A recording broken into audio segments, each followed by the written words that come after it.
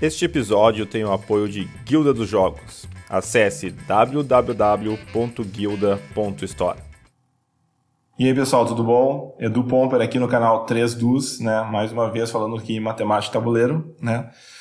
Uh, hoje eu vou falar sobre o Onitama, tá? O Onitama, ele é um joguinho simples, que eu acho que tu explica as regras e faz o setup em 5 minutos, mas com uma profundidade muito legal, né? É um jogo simples com uma altamente profundi uma profundidade muito bacana que eu gosto muito de jogar. Para começar a falar do setup, as possibilidades de setup do Onitama, que vocês vão ver que é um número bem interessante, a gente vai ter que falar a combinação. Quem já viu os outros dois vídeos, do Etnos e do Sagrada, já sabe do que eu estou falando mais ou menos. Então, quem não viu, vai lá, dá uma olhada que lá eu vou explicar melhor do que eu vou explicar aqui agora, tá? Então, olha aqui. O que é combinação? Você tem que entender isso, que quando combinação é quando a ordem não importa, ou seja, a ordem dos elementos não altera o teu conjunto, o teu grupo. Né? E o melhor exemplo que eu acho é a fila versus grupo. Por exemplo, uma fila, se tu mudar pessoas de posição na fila, a fila é diferente, né? Porque existe uma ordem ali, né? Uma fila Eduardo Guerra, Eduardo Reis, Eduardo Pomper é diferente da fila Eduardo Pomper, Eduardo Guerra, Eduardo Reis. Já no grupo não, não importa a ordem que eu fale nos nossos três nomes, é o mesmo grupo, é um trio, né? Então não, não importa se quem vem primeiro, o grupo em si é o mesmo. Então isso quer dizer que a ordem não importa, não importa a ordem que eu digo, é o mesmo grupo, né? Então, por exemplo, ó, quantos grupos diferentes de três pessoas podemos formar entre quatro pessoas? Grupos. Então não importa quem vem primeiro. Como é que a gente faz a conta? A gente vai fazer a conta como se a gente esquecesse a primeira parte da ordem, e que é a parte superior aqui, o numerador dessa conta. Primeira opção, primeiro lugar do grupo tem quatro opções, para o segundo vai ter três, porque a gente já usou um aqui, e para o último vai ter só dois, porque a gente já usou dois aqui. Só que acontece, quando a gente faz isso aqui, usa o princípio fundamental da contagem, a gente está considerando a ordem que se eu mudar de ordem é um grupo diferente. Então eu tenho que tirar esses casos repetidos. Quantos casos repetidos eu tenho? É simplesmente o seguinte, ó, eu teria três opções para esse, dois para esse e um para esse, que é exatamente isso aqui, ó, é a permutação da quantidade de elementos do conjunto, 3 vezes 2 vezes 1, que é 3 fatorial. Poderia escrever como 3 fatorial aqui. Então, cada, com, cada grupo aqui eu teria contando 6 vezes ele. Então, eu vou dividir por esse 6, que é 3 vezes 2 vezes 1, e aí eu vou ter apenas quatro grupos diferentes aí. Faz um teste que tu vai ver que tu vai chegar nisso, tá? Não entendeu direito? Volta nos outros vídeos lá que eu explico com mais calma, principalmente no do Sagrado. Ah, vamos lá então. Onitama. Como é que funciona no Onitama, pessoal? O Onitama, quantos setups iniciais diferentes podemos ter? Então essa é a nossa pergunta de hoje, né? Como é que funciona o setup do Onitama para quem não conhece? É o seguinte, ó.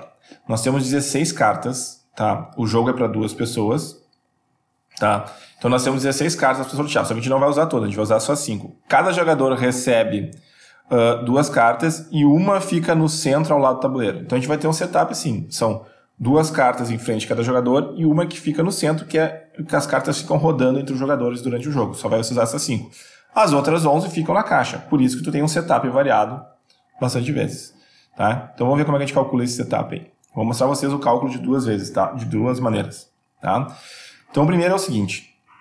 Vamos começar o seguinte. Vamos começar que a gente vai dar as cartas, duas cartas para um, um dos jogadores primeiro. A gente baralhou lá e vai dar, distribuir duas cartas. Então, a primeira, a primeira carta dele nós temos 16 opções. E a segunda nós temos 15.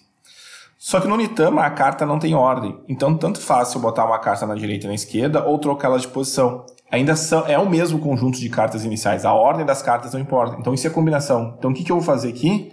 Vou dividir por 2 fatorial. Para não para tirar a repetição disso aqui. Muito bem, aí vamos fazer o seguinte, vamos dar as cartas para o outro jogador.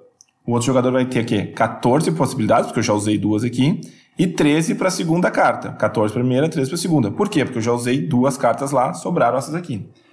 De novo, a mesma coisa, né? Esse cara aqui também, não importa a ordem das cartas. Então o que a gente vai fazer? Né? Vai dividir por 2 vezes 1. Esse x aqui está multiplicando, né? A gente vai, isso aqui é uma fração, né? A gente vai multiplicar tudo. E aí sobrou o quê? Sobrou a carta do meio. Quantas possibilidades sobraram para a carta do meio? 12. Né? E essa aí é a conta que a gente faz. A gente multiplica aqui e divide, na verdade, por 4, né?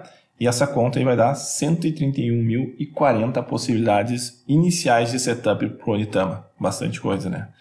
Ah, Popper, mas uh, e se eu fizer a conta de um jeito diferente, não vai dar? Ao contrário, se eu começar a distribuir de uma maneira diferente? Não, não vai dar, porque a conta vai ser sempre essa. Olha só. O que acontece? Vamos supor agora que a gente vai começar pela carta do meio. Então, carta do meio, quantas possibilidades eu tenho? 16. Eu vou botar ali a carta do meio 36. Agora eu vou passar, não é só uma carta, não tem nada que fazer.